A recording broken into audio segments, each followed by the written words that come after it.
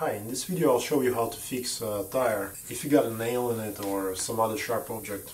Usually you know for sure that you have a nail in it if one of your four wheels uh, losing pressure all the time and it can be over the period of a few days that uh, it's getting noticeable. I'm gonna show you how, how you can do it by yourself and uh, save a lot of money so that you never go to a tire shop with this. Basically you have to dismount the tire and uh, once you do that you need to check the tire and find the actual spot. You will also need uh, one of the sets tire plug kit. Um, I got this in Walmart for like 10 bucks. I always have it in my car and so the hole is pretty big you can uh, usually hear it hissing. Sometimes you can see a head of, of the metal object or if it's a nail you'll see the head of the nail. I'm not super lucky. It doesn't have a head so it's harder to get it out. You can also use some water, like if you spill water over the surface of the tire um, you might notice small bubbles where the air is coming out. So I don't know if you can actually see it, it's right there.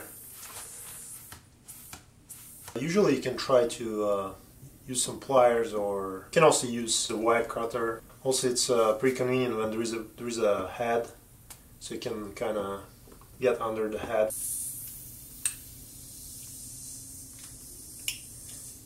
Of have to improvise here. Use some pliers or something, I don't know.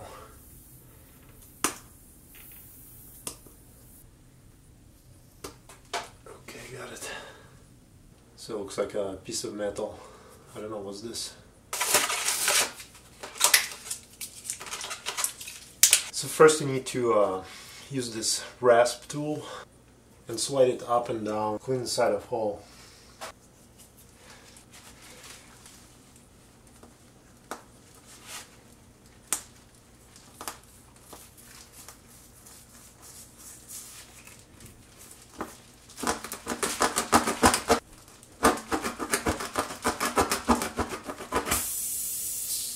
Now we need to prepare the plug material.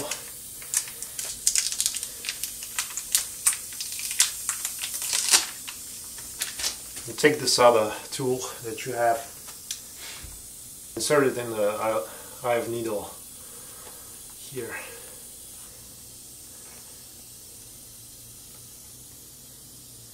Like this. Now use some of this rubber cement on the plug material.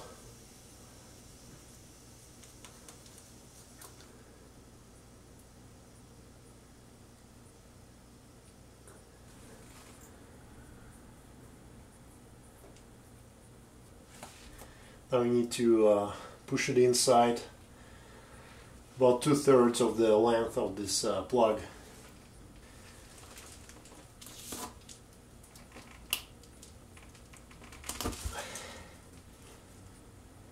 And with a rapid motion, pull the needle straight out. Do not twist the needle while pulling out. Like this. And now cut off the excess plug material.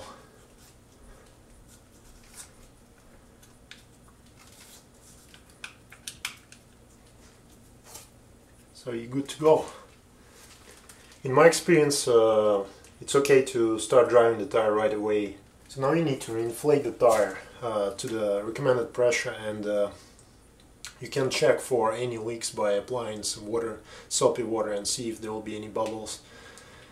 But otherwise, yeah, this is pretty much it. Takes you 3 minutes of time and saves you a lot of money. So uh, good luck and thanks for watching.